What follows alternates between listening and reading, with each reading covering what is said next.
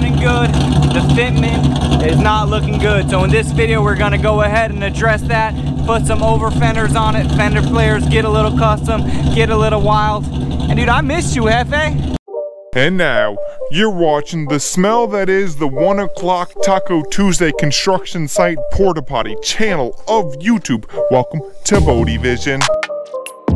Hey, so what's happening? Thank you so much for joining me on yet another video. So like I just mentioned before the intro, what we want to focus on for this car is fixing some of this fitment, some of that issue. The back is also like that not looking too good. So I wanted to just make something completely from scratch. But then I was thinking, why don't I get on the internet and try to find something that's gonna make it a little bit easier for me. So what I went ahead and I did is I just bought some generic fender flares. They're four inch fender flares on eBay. And that's what I got. And now what I'm gonna do and what the plan is to utilize those fenders to kind of work on the wheel section and then adapt the body section. You know what? It'll make a little bit more sense once we get started. So the first thing that I wanna do is to start kind of mask off this fender to get it ready to fiberglass on there. And you'll get it, you'll get it. Let's just, let's go. Thank you.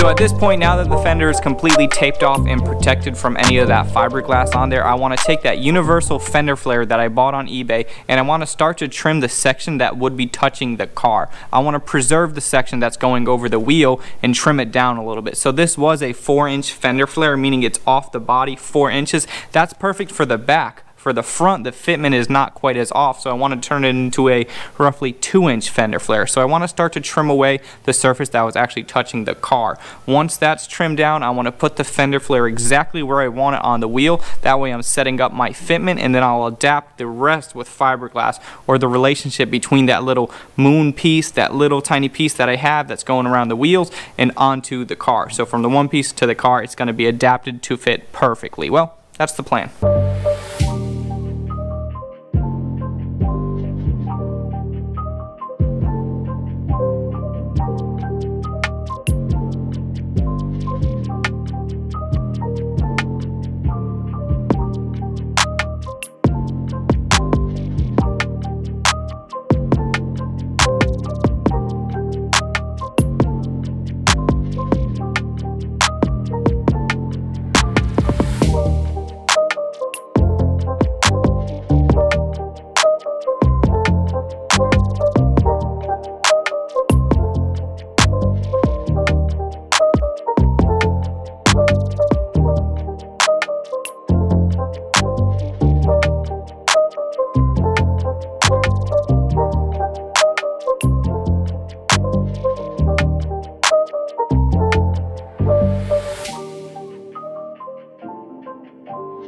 So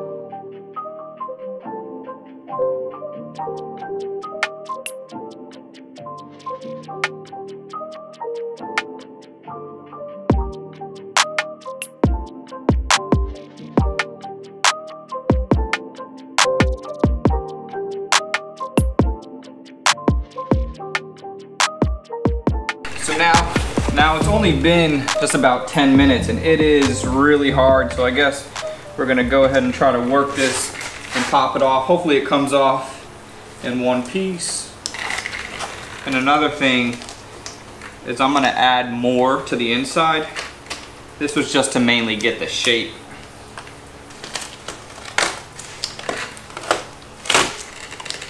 All right, here we go.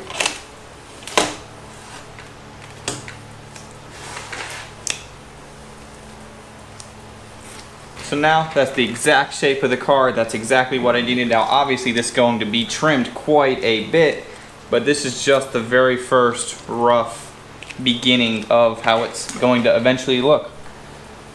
Right now it looks crazy, but believe it or not, I'm really happy with this.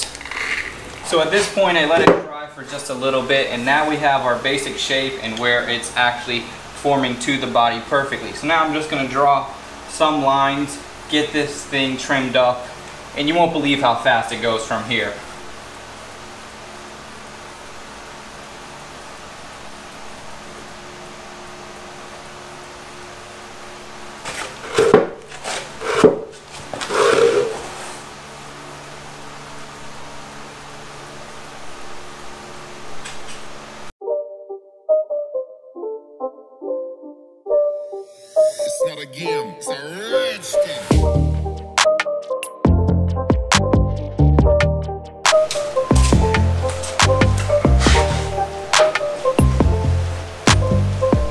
This falls right in place like it was made for it because it was made on here. So what else would it do besides fall in place? And also this edge is going to be cleaned up quite a bit. Right now we just kind of want to get some holes in it. I'm going to throw some Clecos in it so that way we can always return to the same spot as we are refining this. And this looks good. I told you, it'll go quick from here.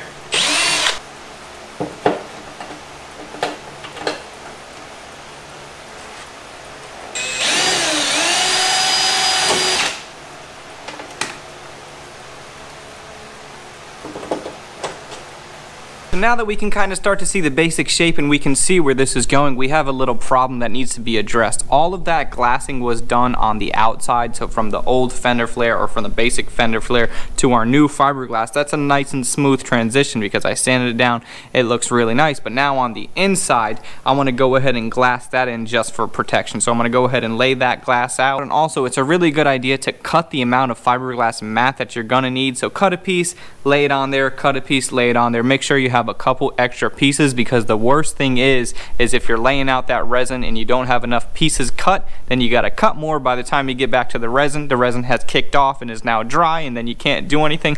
So just a little bit of advice, cut as much mat as you're going to need and then a little bit more.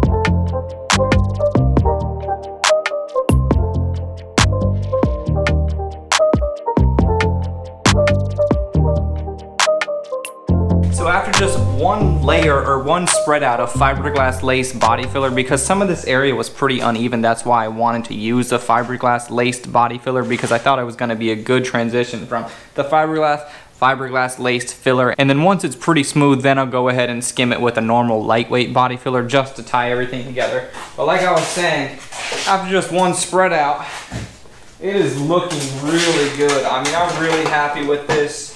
It still looks rough, but I mean, that's just part of the process. Fitment is perfect because it was custom. It was made for this car, so the fitment is gonna be, I mean, it's gonna be perfect. So the inside, looking really good. Outside, looking really good. And again, this was just one spread out. I'm probably gonna have to do three more spread outs. And then I'm gonna have to do two more, then another two more just to kind of bring it closer, bring it together. But this is nice, heavy, and it's crazy because this thing falls. It falls right into place. Like the fitment in the back, fitment in the front is so phenomenal. It really fits like a glove. It barely even needs a cleco there. Like you can see exactly where it's supposed to be on the car. So, and that's why I did those clecos earlier, like I said, so that way it can always come back to the same exact spot. That way we're gonna know fitment and nothing changed. So I think what I'm gonna do is I'm gonna spend a little bit more time sanding on this one, sanding on that one. I wanna get the fronts dialed in really before I move on to the rear. So I got a plan for the rear, similar to the front, but only in a little section. Let's, let's just focus on the fronts for now.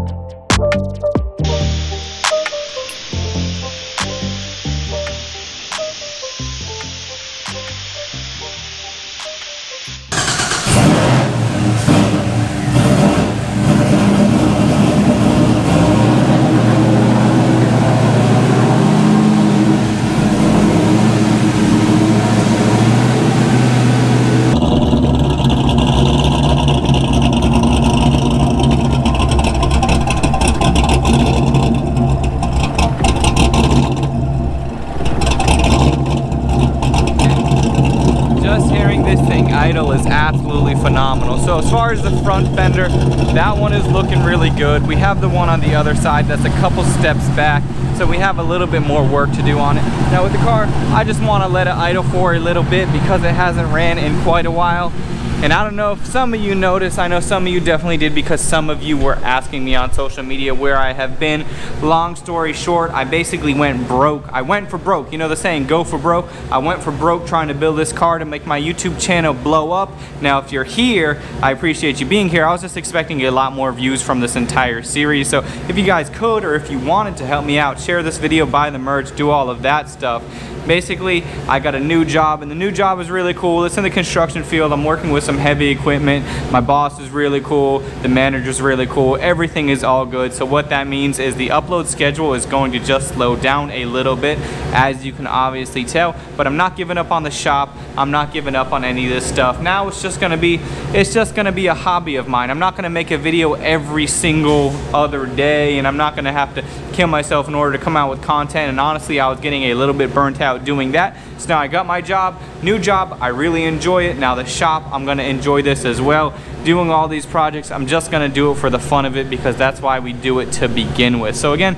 if you want to support me a little bit go and check out some of the merch or share this videos with some of your friends. So anyways on the fenders. Back to the actual video itself. This is just part one. Part two will be coming out real soon. I got some ideas for the rears and it's gonna be very similar to the front. Either way man. Subscribe to see all that stuff coming up. Thank you so much for watching. Like this video, comment, subscribe. Do all the stuff you know it is YouTube. I'll see you on the next one. Let you hear it one more time. Until the next one.